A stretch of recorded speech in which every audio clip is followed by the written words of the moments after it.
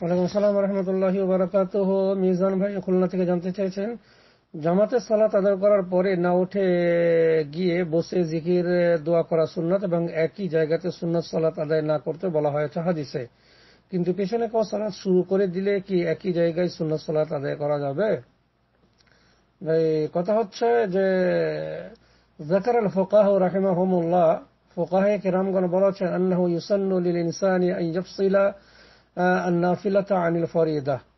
মানুষের জন্য শূন্য তরিকা হচ্ছে যে নফলকে ফরজ থেকে আলাদা করবে। সেটা ফরজের পরে কিছু কথা বলার মাধ্যমে হোক, কিংবা জায়গা পরিবর্তনের মাধ্যমে হোক। কারণ মোয়াবিয়া রাজি আল্লাহ তালুর হাদিসে বলা হয়েছে, কালা আমারানা রসুল্লাহ সাল্লাহ সাল্লাম। তিনি বলছেন যে রসুল্লাহ সাল্লাহ সাল্লাম আমাদেরকে আদেশ করতেন আল্লাহ নুসাল্লি সলাতান বে সলাতিন। আমরা এক নামাজের পরে আরেক নামাজ যেন না মিলিয়ে পড়ি। তার মানে ফরজ পড়লেন, সঙ্গে সঙ্গে আপনি কি করলেন নফল সুন্নত পড়তে শুরু করে দিলেন।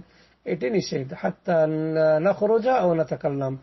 যতক্ষণ আমরা না বেরিয়ে যাব কিংবা আমরা কথা না বলে নেব।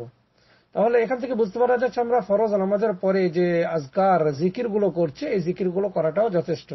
যে জিকিরগুলো করা হয়ে গেলে সেই জায়গাতে আপনি সুন্নত পড়তে পারবেন। কিন্তু সব থেকে উত্তম হচ্ছে যে বহু আন্তাজা সুন্নতা ফিল বাইত। সুন্নত নামাজটা ঘরে পড়াটা হচ্ছে উন্নত। উত্তম। লিআন্না আদা সুন্নত ফিল বাইত আফদল মিন আদা ইহা ফি মসজিদ, ফিল মসজিদ। কারণ সুন্নত নামাজ ঘরে পড়া মসজিদে পড়ার থেকে উত্তম। এমনকি মসজিদে হারাম হলেও মসজিদে নববিত হলেও। জি, যেমন আল্লাহ রসুল বলেছেন আফদল সলাথিল মারি ফি বাইতি ইল্লাল মাকতুবা। পুরুষের নামাজ পুরুষের নফল নামাজ উত্তম হচ্ছে, না, আফদল সলাতিল মারি ইফি বাইতিহি। ঘরে নামাজ পড়া পুরুষের জন্য উত্তম ইল্লার মাকতুবা, ফরজ ছাড়া আর কি। ফরজ ছাড়া, তার মানে ফরজ ছাড়া অন্য নামাজগুলি বাড়িতে পড়াটাই হচ্ছে বেশি উত্তম। এই কথাটা আল্লাহ রসুল মদিনায় বলেছেন তারপরে মসজিদে নববীতে যেখানে একশো এক হাজার নামাজের সবাব বেশি পাওয়া যায়, সেখানেও কিন্তু আল্লাহ রসুল এটাই বলেছেন। সেই জন্য সব থেকে উত্তম হচ্ছে যে সুন্নত নফল নামাজগুলো বাড়িতে পড়া। তবে মসজিদে পড়া যাবে না এমনটি নয়।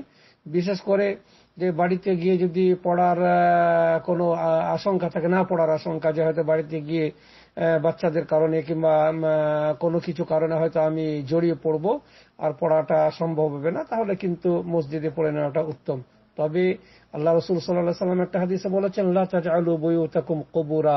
তোমরা তোমাদের ঘরগুলোকে কবর বানাবে না। যেমন কবরে এবাদত হয় না, ঠিক সেরকম ঘরকে এবাদতহীন করে রাখাটা উচিত নয়। মাঝে মাঝে কিছু সলাত যেমন তাহাজুদের সলাৎ, কিংবা জহরের আগে, জহরের পরে যে সুন্নত, কিংবা মগরিব এসার পরে বা ফজরের আগের যে সুন্নত, সেগুলো যদি আমরা বাসায় পড়ি, তাহলে এটাই উত্তম।